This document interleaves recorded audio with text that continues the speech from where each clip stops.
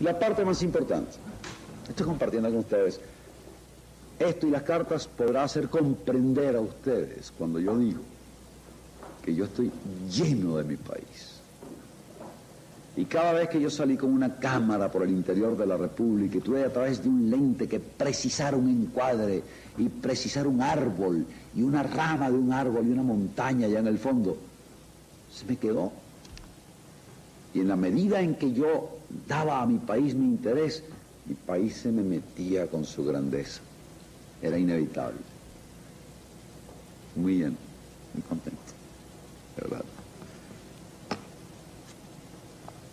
Y ahora estoy, lo último pues que se me ocurrió hacer es desarrollar una filosofía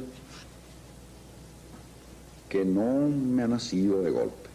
Vamos a decir es el producto de, de esa comunicación que he tenido con mi patria, que es la nuestra. Me ha preocupado el... Estoy convencido de que el retorno del país a sí mismo no puede ser sino a través de su conciencia, a través de su conciencia como país. Resiento el que un líder extranjero me diga a mí como venezolano cuál es el camino.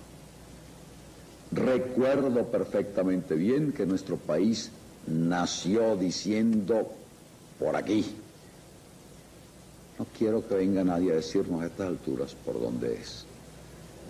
Creo firme y ciegamente que Venezuela nació para ser líder y decir cuál es la senda, no para seguir otras. Y reconozco también que por cuestiones circunstanciales Venezuela se ha olvidado un poco de sí misma. El problema no es material, el problema es mental y emocional.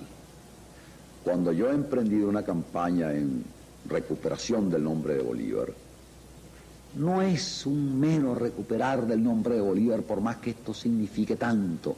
Es que el recuperar el nombre de Bolívar significa recuperar en gran parte la conciencia de qué significa ser venezolano. He dicho varias veces que de ninguna manera yo quiero sonar peyorativo hacia otras nacionalidades. Por favor, no lo vayan a interpretar de esa manera, ni tampoco como chauvinista. Cuando yo he dicho 20 veces la figura del Che Guevara es hermosa porque es un romántico y es bella.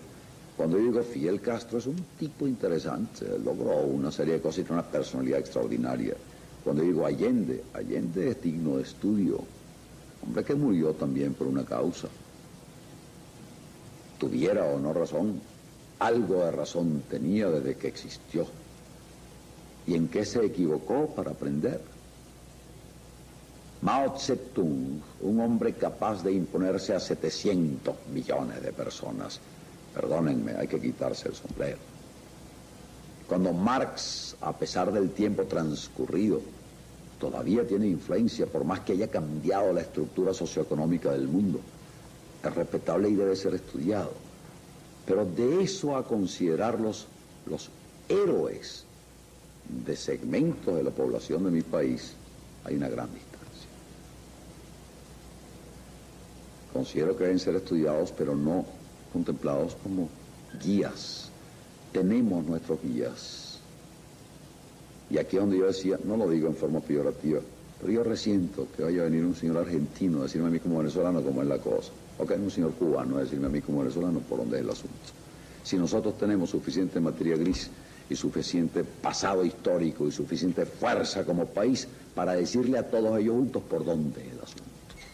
Y si son chauvinista es quizás no porque lo sienta, puesto que no, yo no soy chauvinista, sino porque quizás deba exagerar o hacer resaltar más todavía el papel que Venezuela debe jugar en, el mundo entero, y especialmente en la América Latina. Por eso es que yo he buscado la manera de, a través de Bolívar, regresar a la importancia de ser venezolano. Por eso es que he dicho, hay que rescatar a Bolívar. Por eso es que las personas que han escrito recibirán su libro Bolívar ya lo dijo, que es una recopilación de pensamientos de Bolívar alrededor del mes de marzo, por cuanto va a ser editado el mes que viene, perdón, el mes de febrero.